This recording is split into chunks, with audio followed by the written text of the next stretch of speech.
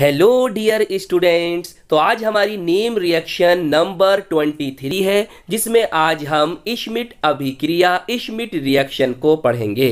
तो आइए फिर शुरू करते हैं इस वीडियो को, और इस वीडियो की पीडीएफ और इससे लास्ट वीडियोस की भी पीडीएफ आपको हमारे टेलीग्राम ग्रुप में मिल जाएगी। आप जाकर सर्च करें एस टी आर क्लासेस वहाँ से आप इन सभी वीडियोज़ की पीडीएफ को ले सकते हैं। तो देखिए, बहुत ध्यान से समझेंगे।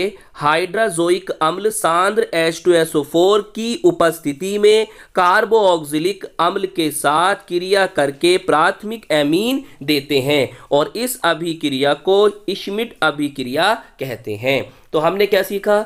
हमने ये सीखा कि हमें हाइड्राजोइक अम्ल लेना है और सांद्र सल्फ्यूरिक अम्ल H2SO4 की उपस्थिति रखनी है और कार्बोऑक्सिलिक अम्ल से क्रिया कराएँगे। जब हम कार्बोऑक्सिलिक अम्ल से क्रिया कराएँगे तो हमें क्या प्राप्त होगा? प्राथमिक एमीन प्राप्त हो जाएगा और हम इस अभिक्रिया को क्या कहेंगे? इश्मिट अभिक्रिया कहेंगे।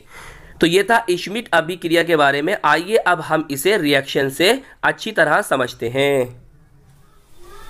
देखिए R C double O H ये कौन है? ये आपका कार्बोक्सिलिक एसिड है और मोनोकार्बोक्सिलिक एसिड है। क्योंकि इसमें केवल एक C double O H group है। क्लियर और हाइड्रोजोइक का फॉर्मूला क्या होता है? N three H N three H किसका फॉर्मूला है हाइड्रोजोइक का। और हम इसको हाइड्रोजन एजाइड भी कह सकते हैं, या हम इसको एजो इमाइड के नाम से भी जानते हैं। और इस रिएक्शन में जो आपको प्रेजेंस रखनी है, वो किसकी है? कंसंट्रेट H2SO4 की। किसकी है? H2SO4 की इस रिएक्शन में प्रेजेंस है। देखो, ये जो रिएक्शन होगी, उसमें कार्बो ऑक्सिलिक एसिड का जो फंक्शनल ग्रुप है सी डबल ओ एच ये भाग लेगा। मैंने क्या बताया कि इस रिएक्शन में कार्बो ऑक्सिलिक एसिड का जो फंक्शनल ग्रुप है सी डबल ओ एच ये पार्टिसिपेट करेगा। अब देखो आपको किस तरह से ये रिएक्शन याद रखनी है, उसे समझिए। देखो, यहाँ पर आपके पास कितने नाइट्रोजन है? तीन नाइट्रोजन है और एक हाइड्रोजन तो यहाँ से आप ना N2 के रूप में डाई नाइट्रोजन के रूप में निकाल दो दो नाइट्रोजन को। निकाल दिया। अब बताओ यहाँ पर क्या बचा? यहाँ पर आपके पास बचा है NH क्लियर? अब तुम देखो, यहाँ से यहाँ से हम क्या करेंगे? सी डबल ओ है ना? इसको निकाल देंगे। तो ये काय के रूप में निकलेगा कार्बन डाइऑक्साइड के। तो कुल मिलाकर बात ये समझ में आई कि यहाँ से आप याद रखो इस तरह से, यहाँ से आप N2 निकाल दो तो यहाँ पर NH बचेगा और यहाँ से आप क्या करो? CO2 कार्बन डाइऑक्साइड को निकाल दो।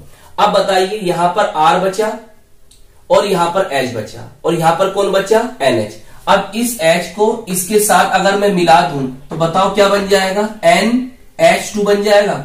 और इस NH2 को इस R के साथ में मिला दूँ तो बताओ क्या बन जाएगी? यही तो होगी आपकी प्राइमरी एमीन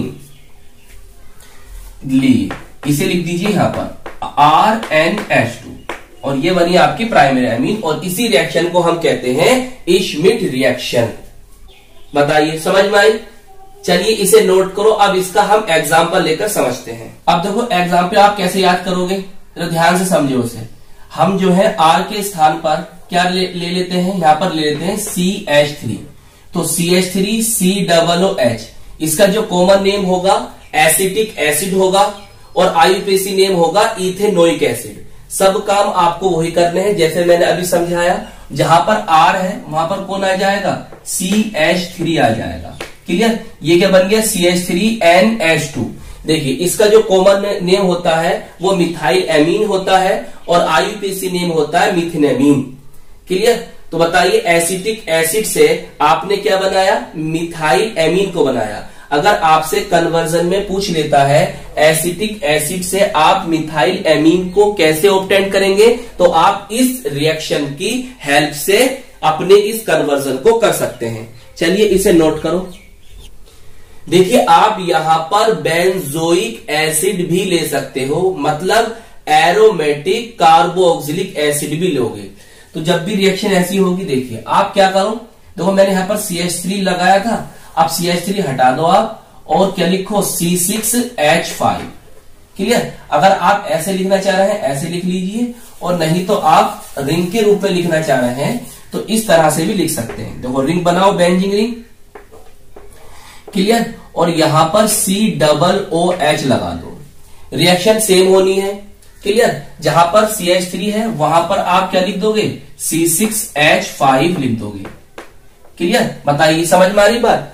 अगर रिंग के रूप में इसे भी लिखना चाह रहे हैं तो लीजिए आप बेंजिंग रिंग बनाइए और इस पर लगा दीजिए क्या?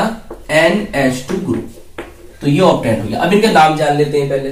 देखिए, इसे हम कहते हैं बेंजोइक एसिड या हम इसे बेंजीन कार्बोक्सिलिक एसिड भी कह सकते हैं, या हम इसे कार्बोक्सी बेंजीन भी कहते हैं। अब एक नेम और याद रख लो तुम। देखो ये है फिनाइल, ये फिनाइल है और ये क्या बना? Methanoic acid. तो हम इसे फिनाइल मीथेनोइक एसिड भी कह सकते हैं। क्लियर? बेंजोइक एसिड भी कह सकते हैं, बेंजीन कार्बोक्सिलिक एसिड भी कह सकते हैं कार्बोक्सी बेंजीन भी कह सकते हैं और फिनाइल मीथेनोइक एसिड भी कह सकते हैं।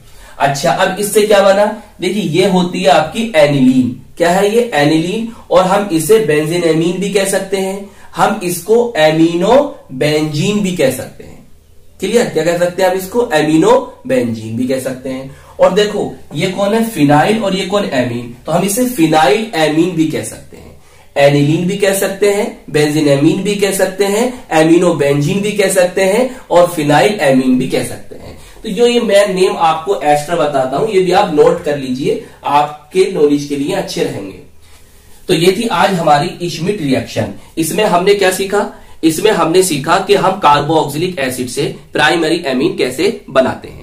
और यहाँ पर हमने दो एग्ज़ाम्पल लिए। एक एसिटिक एसिड से लिया और एसिटिक एसिड से हमने क्या बनाया? मिथाइल एमिन को बनाया। और दूसरा एग्ज़ाम्पल हमने लिया बेंजोइक एसिड का, जिससे हमें क्या ऑप्टेन हुई? एनिलीन ऑप्टेन हुई। तो इस तरह से आपको नेम रिएक्शन तैयार हुई और और आपको साथ में दो कन्वर्जन भी तैयार हो गई। अगर आपसे पूछता है कि भाई आप जो है, एसिटिक एसिड से मिथाइल एमीन को बनाइए तो आप इस रिएक्शन की हेल्प ले सकते हैं। या आपसे पूछता है कि बेंजोइक एसिड से बेंजोइक एसिड से एनिलीन को ऑप्टेंट करो एनिलीन को प्राप्त करो तो भी आप इस रिएक्शन की हेल्प ले सकते हैं। तो आई होप ये वीडियो आपको अच्छी तरह से समझ में आ गई होगी, कैसी लगी हमें ज़रूर बताएँ, और एक प्यारा सा, सुंदर सा अच्छा सा नोट्स बनाते रहें, और बहुत मेहनत से पढ़ाई करते रहें, अपना, अपने घर वालों का, अपने समाज का, अपने देश का नाम रोशन करते रहें। हम मिलेंगे आपको इसकी नेक्स्ट वीडियो में।